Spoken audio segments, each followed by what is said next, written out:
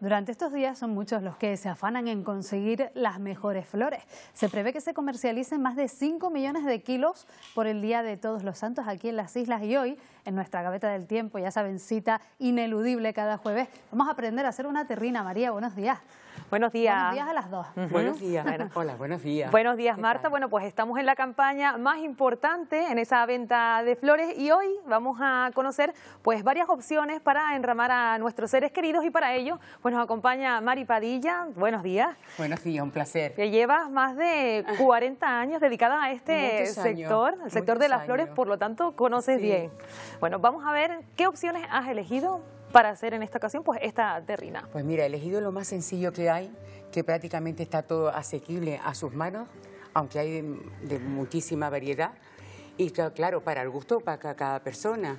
He elegido unos lilios que los vi muy bonitos y aparte unas rosas también que las vi muy, muy, muy bonitas. También para esta época, Mari, se usan los crisantemos, ¿no? Es otro tradicional, otra flor tradicional. Los crisantemos se está todo el año, todo el año.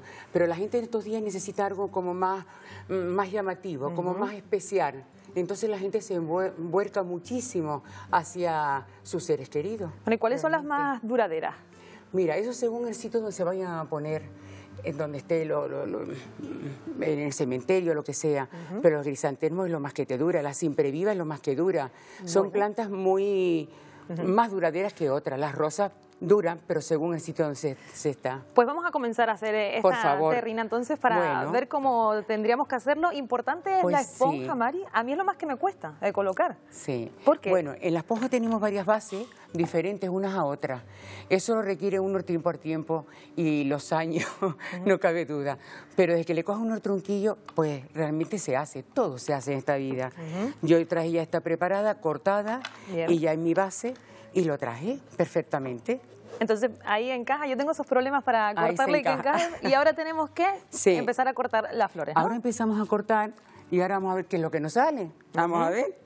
Bueno, ¿y la base estaría compuesta por qué tenemos ahí? Mira, la base todo es lo que se quiera poner, sobre todo verde, combinar el verde, el combinar los colores, es muy importante. Y tener también una idea, desde que tú cojas una cosa, ya tener una orientación, por dónde vas a ir, o ver la persona, lo que le gusta. Hay personas que me dicen, haz cosas Mm, estrambóstica, cosas que no haya visto. Entonces ya tú te basas en esa, en esa persona. Vamos colocando entonces, Mari. Y bueno, también quería preguntarle, porque hablaba de según donde esté colocado, esa terrina pues, puede ser en el suelo, una zona intermedia, la parte alta también, y en función de eso, pues elegimos eh, cómo hacerlo. Siempre lo, hemos, lo preguntamos. Ahora mismo en estos días, lo primero que preguntamos, ¿en qué parte está el nicho? No es lo mismo hacer un, un, un ramo de altura como un nicho de abajo. Porque hay que darle ese valor a esa planta, ese ramo que se va a hacer, ¿no? Porque no es lo mismo levantar en una parte alta, en un cuarto piso, que, que no tiene sentido. Entonces eso es muy, muy importante. Y sobre todo, importante también, cuando lo tenemos en la parte alta, ya cuando vamos cumpliendo cierta edad, Mari, los esfuerzos, ¿no? Pero hay personas, los pobres, que no da tiempo a elegir nada. Entonces, claro, cuando se llega y personas mayores que dependen de sus hijos, depende de otras personas. Pero ya hoy en día también se está poniendo mucha facilidad en, poner todo a mano. Pues nos vamos a quedar con esos esfuerzos porque de los esfuerzos excesivos precisamente hemos hablado con nuestro doctor porque pueden causarnos hernias y hoy esos consejos son sobre las hernias umbilicales. Los síntomas más importantes o más frecuentes a nivel de, las hernias umbilicales sería pues, el abultamiento en la pared abdominal. La gente se empieza a ver como, como una, un abultamiento de la pared abdominal, una, una bolsa, una masa y consecuentemente cuando va pasando el tiempo molestias, desconfort hasta dolor. La hernia primaria, la hernia no complicada, es más frecuente en el balón por la anatomía que tenemos los, los varones y las de la línea media tanto umbilicales como epigástricas pues se dan indistintamente entre, entre hombres y, mujeres. Lo más recomendable es acudir a su médico para su correcto diagnóstico y, tratamiento en este caso. Muchas veces ocurre eh, que la gente mayor y por una, digamos, un tema de, concepción ancestral o de, o de creencia, muchos de esos varones sobre todo no se, no se operan o tienen miedo. Y por hoy se puede, digamos, tratar y operar casi todas las hernias de cualquier tipo de paro abdominal y tienen una, muy fácil solución. Hoy por hoy incluso con cirugías técnicamente endoscópicas y mini invasivas para que la recuperación sea más rápida y la incorporación a una vida normal sea lo más pronto posible, cuestión de días. Pues estas son las recomendaciones del doctor sobre esas hernias, hablábamos de los esfuerzos y seguimos en este caso pues haciendo esta terrina aquí, pues no supone ningún esfuerzo, Mari, de momento sí mucho movimiento, ¿no? Porque tenemos que movernos a un lado y a otro y vamos a aprovechar para cortar, me decías, el corte de... Cejado cejado, o sea, así, ¿no? Para yo aprender también. Vale, perfecto. Así es como realmente se debe hacer en, cejado, ¿no? Y ya te lo voy dejando por aquí. Perfecto. Importante también según la época del año, ¿verdad, también, Mari? Porque ahora que estamos en otoño, ¿qué tipo de flores vamos utilizando? Mira, hoy en día, antes era un problema, ya hoy en día hay para todo. En todo el año hay ya de todo. Eso se deja para antes, que antes, pero realmente ahora, en esta época, en la florestería de nosotros, ya ha entrado de todo lo que son lilios, lo que son las herberas, que están aquí también, que es lo que está también todo el año, en fin. ¿Y hay suficientes plantas aquí en el archipiélago, Mari, para abastecer esta demanda tan importante? Hablamos de 5 millones de kilos. Mira, ¿Hay bastante demanda o tienen que importar? ¿Ustedes, hay que importar, pero es una pena porque aquí también hay muchas cosas buenas, hay muy buenos cosechadores y queda pena que también a veces tenemos que salir afuera para que nos traiga cosas, que no es lo mismo. No es lo mismo una cosa que venga ya de, de, una cámara, de otra, porque está cortado, tiene su cámara, tiene, tiene sus días y todo eso influye. Voy a cortar otra yo, voy a aprovechar por favor, para cortar. Por favor. Así voy aprendiendo ese corte cejado que, que me decía. Vamos por aquí. Claro que sí. Aquí, ¿no? Muy fácilmente, así mismo. Perfecto. Así mismo. Ahí. ¿No ves? Todo es lo que realmente por donde quieras llevarlo. Después yo utilizo mucho estas hojitas, que son hojas de salón. Para decorar, son muy bonitas esas, ¿verdad? de salón, lo más normal. Yo siempre digo a las clientas que use todo lo que se tenga en casa porque ya hoy en día comprar flores es un lujo, ya hoy en día es un lujo porque cada día está todo más elevado. ¿Y qué se cultiva aquí, Mari? Que hablábamos de, de Se cultiva de todo, mira, tanto con las rosas como las herberas, hay muchas, muchas, lo que pasa es que yo no sé qué es lo que ha pasado, que cada día los pobres agricultores de nosotros, pues cada día tienen que ser menos, porque entre una cosa, que si tanto bicho, que si una cosa a la otra, parece que no, y eso influye un montón. Bueno, yo quería preguntarle, para aprovechar esta época en la que estamos viviendo, este mes de, octubre, ahora ya noviembre, Día de Todos los Santos, ¿usted es más de finado o se ha adaptado al Halloween? ¿Las castañas, la sardina o el Halloween con las calabazas? No, yo soy muy de finado. Aún no me entra eso, ¿sabe? Pero bueno, se tiene uno que adaptar a medida que va viniendo las cosas, bueno, ¿sabe? Pues Tenemos que ir al paso de todo el mundo, porque no queda otra cosa. Y sobre eso hemos hablado con nuestros mayores, esa tradición de las castañas, de las sardina o también conocer si finalmente pues, han conseguido adaptarse al Halloween. Vamos a ver qué nos han dicho. A mí me gustan más los finados, aunque yo reconozco que a los niños le hace más ilusión porque se disfraza de monstruos y van pidiendo caramelo y eso, pero yo creo que es bueno respetar las tradiciones nuestras y defender lo nuestro.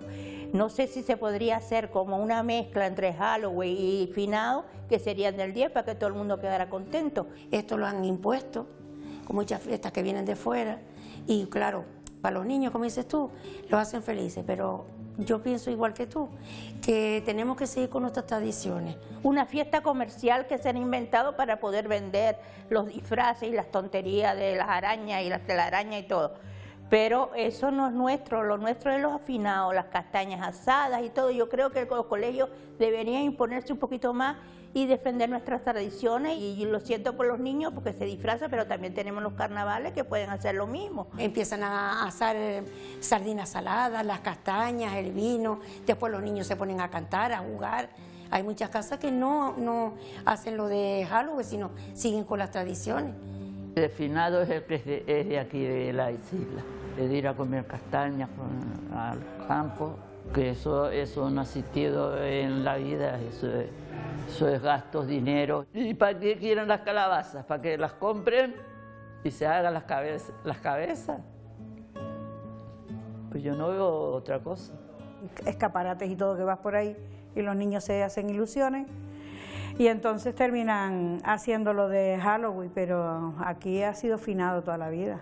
Yo no lo veo bien, para mí. Deberían de seguir un poco más las tradiciones, aquí se han perdido mucho. A mí me, ha tocado mis vecinos y me y les ha dado caramelos y les ha dado lo que tengo en casa. A ver, es gracioso eh, por ver los niños y ellos lo disfrutan y demás, pero bueno, y de vez en cuando te dan un susto también con los fantasmas. No, a mí no me aporta, bueno, a los, a los, a los comercios sí. A mí no me, me aporta nada. Pues esta es la opinión de nuestros mayores sobre Halloween o. Ellos se quedan confinados esa tradición. Y ahora, mientras Mari sigue, nosotros vamos a ir hasta Gran Canaria, en concreto hasta el municipio de Galdar, porque el Museo y Parque Arqueológico Cueva Pintada acoge un taller para activar los recuerdos de las personas mayores a través del tinte púrpura de la cochinilla canaria. Y Jessica Díaz nos va a dar más detalles. Buenos días María, buenos días Canarias. Pues en las últimas dos semanas han pasado por este taller muchos usuarios de los servicios que ofrece el Ayuntamiento de Galdar. Hoy están los usuarios del servicio de asistencia a personas mayores acompañadas. acompañadas. Como puedes ver, están teñiendo, pintando y todo con cochinilla. Pero mejor vamos a hablar con una de las usuarias, con Nieves. Buenos días. Buenos días, mi niña. Bueno, llevan aquí desde las 9 de la mañana. ¿Qué han hecho? Pues nada, lleguemos aquí, bajemos abajo a, al yacimiento, al yacimiento y después pues bajé en la silla de ruedas porque eso es muy, muy trozo para mí, yo no puedo caminar muy bien todavía, bajaron, me bajaron la silla de ruedas. ¿Y le gustó la experiencia? Sí, sí, sí, sí, aunque había venido, pero aquella vez vine caminando yo por mi cuenta. Ajá. Pero no, ahora no, ahora me, me llevaron y... ¿Y ahora qué está haciendo? Pues, ah, vi también la hueva, que es la hueva, eh, la hueva pintada. Ajá. Porque, ¿sabes? Lo llevaron hasta abajo y para ver la hueva también, todo, todo muy bonito. Ajá. ¿Y ahora qué está haciendo? Y ahora estoy pintando, pues poniéndole los turnos a las tuneras.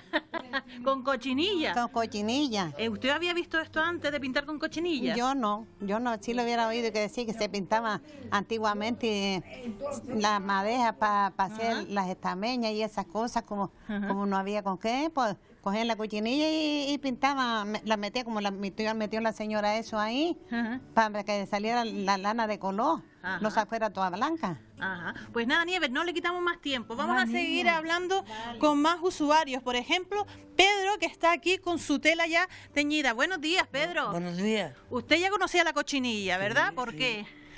Porque la cogía y la te la daba mi gente y la vendía para tener un real para una perra y Ajá. ¿Y le ha gustado la experiencia de hoy? Sí.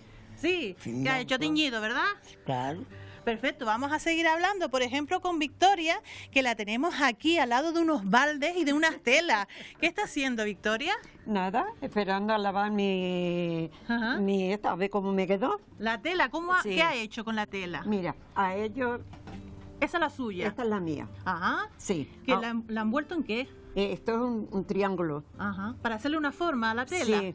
Vale, ¿y ahora qué tiene que hacer? ¿Meterlo en el balde? Ahora lavarla, aquellarla y después para después sacar, quitarle los elásticos y todo y después a ver cómo abrirla, queda. a ver cómo queda. Pues venga, vaya usted haciendo eso, que yo voy a hablar con la eh, instructora de este taller, que es tejedora y tintorera.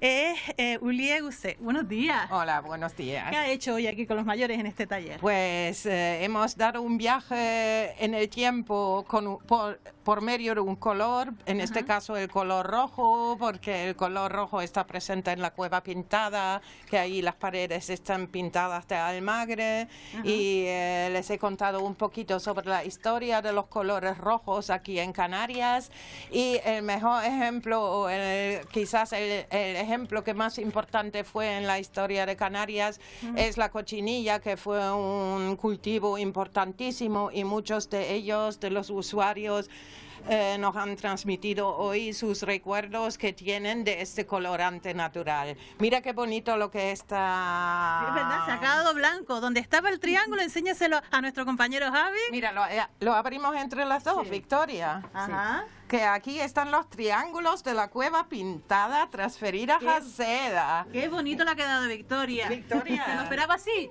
No, no lo esperaba porque no lo sabía, no lo había visto, pero lo veo precioso. Qué bonito, ¿no? Sí, sí, ahí están los triángulos de la cueva pintada, fijadas en seda con color canario, con la cochinilla. Pues muchísimas gracias.